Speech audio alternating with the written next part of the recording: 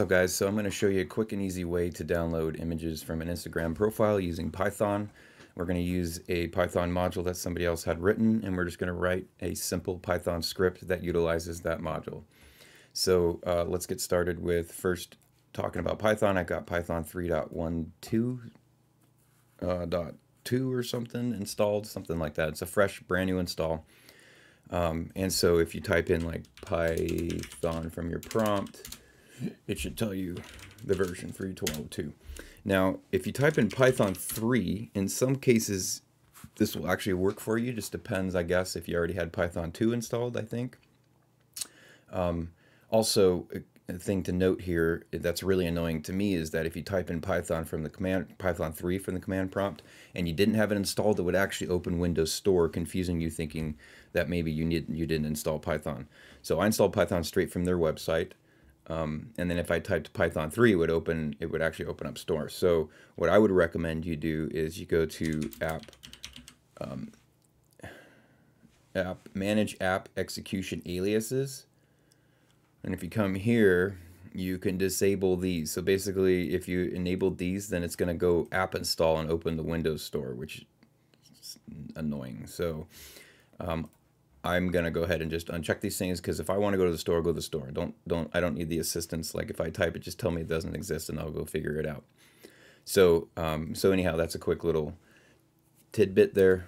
Um, okay, let's get started on the script piece. So I've got Python 3 installed, so I'm just going to reference it as Python. I've also got pip installed because pip came with Python, and it's a Python package installer. So you can type pip or pip3, um, and you can see, like if I say pip version, I think, Nope, maybe dash dash version. It'll tell me which pip I've got. There you go. Perfect. So we want to uh, install the instaloader module. So the URL for this site is right here. Let me put it in in the browser. So if you go to this website, you can see this called the instaloader. Ensure that you have Python and pip installed. So it's really easy to do. You literally are just going to type in this command to get the module installed. So we'll go ahead and copy paste that and put it in. Shouldn't take too long to install. And then um, we're going to use, we're going to create a new Python script. It's going to be really simple. There's a couple ways you can do this. One, you can apparently run it from the command line. So if you see like command line options, you can run it that way. I'm going to do it from PowerShell script instead. And so as soon as it's done, actually we can go ahead and just start that, I guess. We right click here and you say new file, and we want to say, um, I'm going to call it download IG, IG uh, geekhead gh.py. So now it's a Python file, and we're going to just say import. And this is all on his page too, or whoever wrote it. So import instaloader, because we've already did the pip part for that, right? So if you want, you can put it in the comments so that you remember how you got it. And then we're going to say ig loader equals insta loader dot insta loader. So instantiate an insta loader method. And uh, the next thing we want to do is really just the download part. I mean, this is it's super easy. So there's a there are this is apparently a deprecated um, method.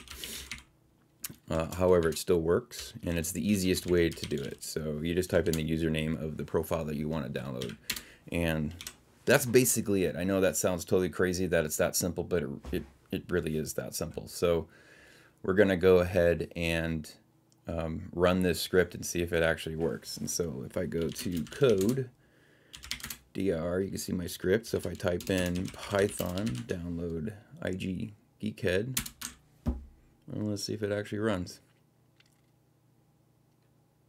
Look at that. So I've got 25 photos. It's going to download all the photos from that profile. So basically everything here. 25 posts. Downloading 25 posts. It also downloads additional like metadata. So it's going to download, I think in the JSON, it'll download like the description and title and stuff. And um, the other nice part is that it keeps it keeps a, a cache of it too. So I'll, as soon as this is done downloading, I'll show you. I'll go ahead and download, run it again, and you'll see that it um, won't download the 25 again because it's already been downloaded. So it's only going to download what what's new. So if someone were to make an additional new post, you would get be able to download that a new post. The other cool thing is that it does download the image at the full res. And so um, better than what you can sometimes see in here. Um, so anyhow, there you go. So it's done. So if I do a dir, you can see that it actually created a folder called its geekhead, and then all the files are in there. If I run it again, it should tell me that everything's the same. And it'll be it, has to iterate through all of them, so it's checking. But you can see it didn't download as much faster.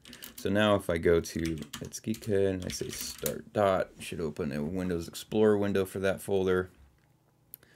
And you can see all the pictures here and the videos. So if we go ahead and say large icons, there you go. So if you were to open up one of these, um, it should be full res capability, or at least as high as it was posted on Instagram as. So you can see the details pretty good.